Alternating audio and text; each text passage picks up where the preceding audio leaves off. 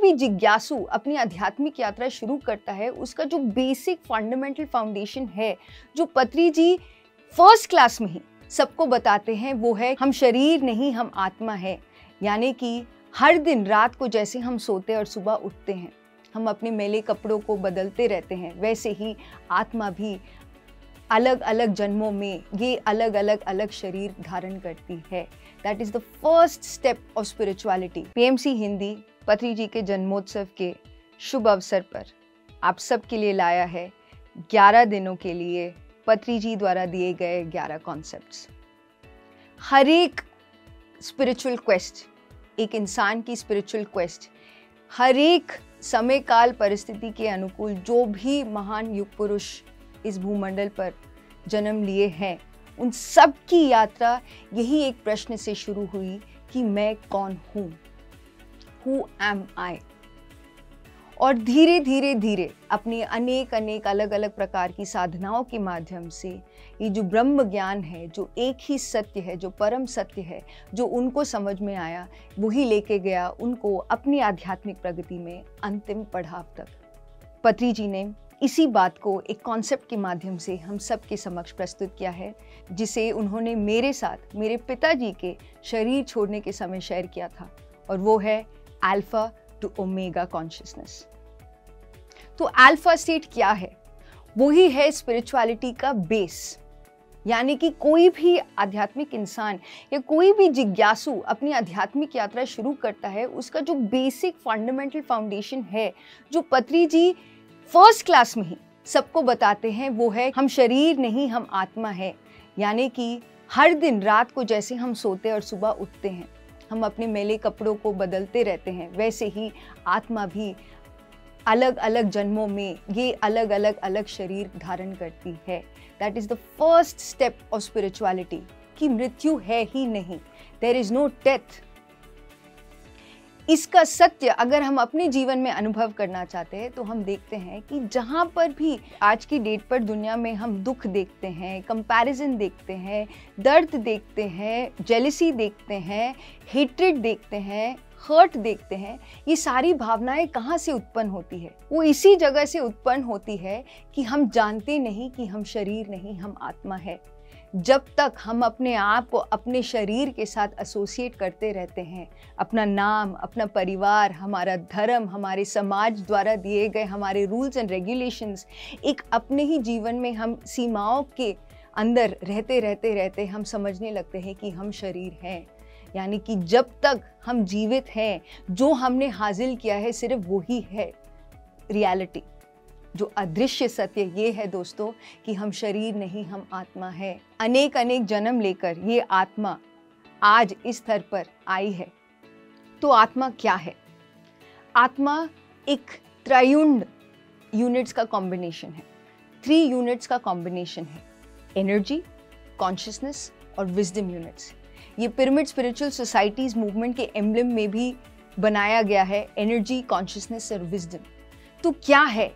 ये energy consciousness और विस्टम चेतना से उत्पन्न हुई एक सोच को जब हम फ़िज़िकल रियलिटी में अगर अनुभव करना चाहते हैं, वो है ऊर्जा।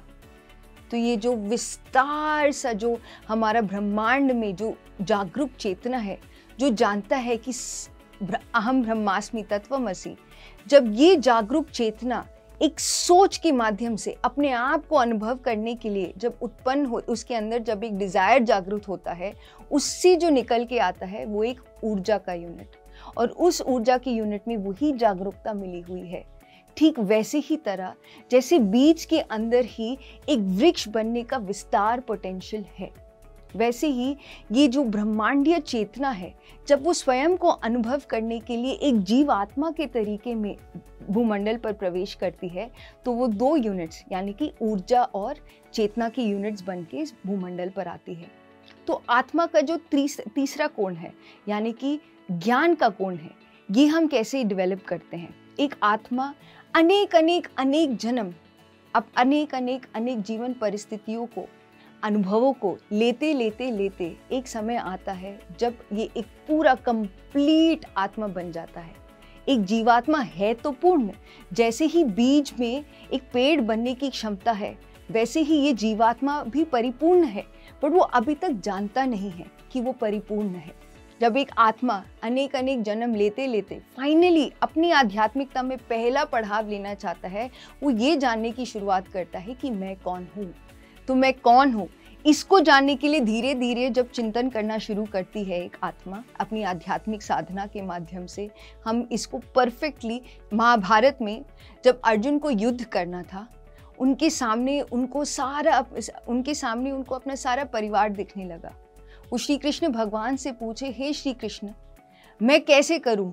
वो मेरे मामा, मेरे भाई, मेरे बहन, मेरे दादा, इन सभी के साथ मैंने अपना जीवन मैं अपने बचपन से ही पला भरा हूँ। मैं कैसे इनके प्रति युद्ध करूँ? तो श्री कृष्ण भगवान ने कहा, कर्म करने का ही अधिकार तुम्हारे पास है, फल की चिंता करने की नहीं। युद्ध करना अब तुम्हारी एक धर्म है। Doing the war is your duty अपना ड्यूटी करो। एक योगी बनो अर्जुन, करके श्री कृष्ण भगवान ने भगवत गीता में अर्जुन को कहा। यही है आध्यात्मिकता का पहले पढ़ाव जब हम ये जानना शुरू करते हैं कि हम शरीर नहीं, आत्मा है, सही मायने में हमारा धर्म क्या है, हमें क्या बोलना चाहिए, क्या नहीं बोलना चाहिए, क्या करना चाहिए, क्या नहीं करना चाहिए, क्या देखना चाहिए, क्या नहीं देखना चाहिए, क्या सुनना चाहिए, क्या नहीं सुनना चाहिए, धीरे धीरे धीरे धीरे धीरे। जो ये ब्रह्म सत्य है कि हम शरीर नहीं, आत्मा है उसको हर पल अपने जीवन में अनुभव करने के लिए हमारा धर्म क्या है, वो मार्ग पर हम हम चलना शुरू करते हैं। तो इसलिए गौतम बुद्ध ने भी कहा था, मध्यम मार्ग, संसार को छोड़ के निर्वाण की प्राप्ति नहीं होती। और इसलिए पीएसएसएम में भी पत्री जी ने खुद यही करके दिखाया कि संसार में ही हम अपनी निर्वाण की प्राप्ति कर सकते हैं। धीरे धीरे धीरे, जैसे हम जानना शुरू करते हैं कि हम शरीर नहीं, आत्मा है अंतिम पढ़ाव हमारी आध्यात्मिक, आध्यात्मिकता में वही है ओमेगा कॉन्शियसनेस और वो है हम ब्रह्मास्मि तो समझ लिया, तत्वमसी। मैं ही तुम हो। I am that and you are also that हम ब्रह्मास्मि, तत्वमसी। हम सब एक हैं। जब पति जी ने ये कॉन्सेप्ट बताया था, मेरे पिताजी ने उसी समय अपना शरीर छोड़ा था और पति जी ने कहा, मेरे जीवन में दुख के लिए कुछ भी कारण नहीं है। मैं किसी के जाने के लिए दुख नहीं बनाता। हर एक दिन एक उत्सव है, क्योंकि मैं जानता हूँ, मैं सितारे भी हूँ, मैं सूर्य मंडल भी हूँ, मैं सागर भी हूँ, मैं शास्त्री जी भी हूँ, मैं पत्री भी हूँ, मैं एक अलेख्या भी हूँ। अंतिम पढ़ाव आध्यात्मिकता में, जो हम एकता कॉन्शियसनेस वननेस कॉन्शियसनेस को समझते हैं, वो यही है दोस्तों कि हर एक में अपने आप को देखना और पाना। और वैसे ही हर एक ब्रह्मज्ञानी ने ये एक अद्भुत स्थिति अपने ध्यान की साधना के माध्यम से प्राप्त किया है। ये जान लिया कि अहम ब्रह्मास्मि तत्वमसी।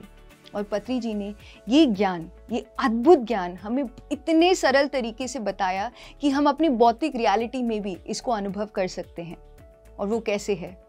ध्यान, स्वाध्याय और सज्जन सांगत्य। तो पत्री जी के जन्मोत्सव पर उनको बहुत बहुत बहुत धन्यवाद। कि उन्होंने ये एक अद्भुत ब्रह्म ज्ञान इतने आसानी से अपने निजी जीवन में हम कैसे अपना सकते हैं और इस स्थिति को अनुभव कर सकते हैं। थैंक यू पत्री जी नमस्ते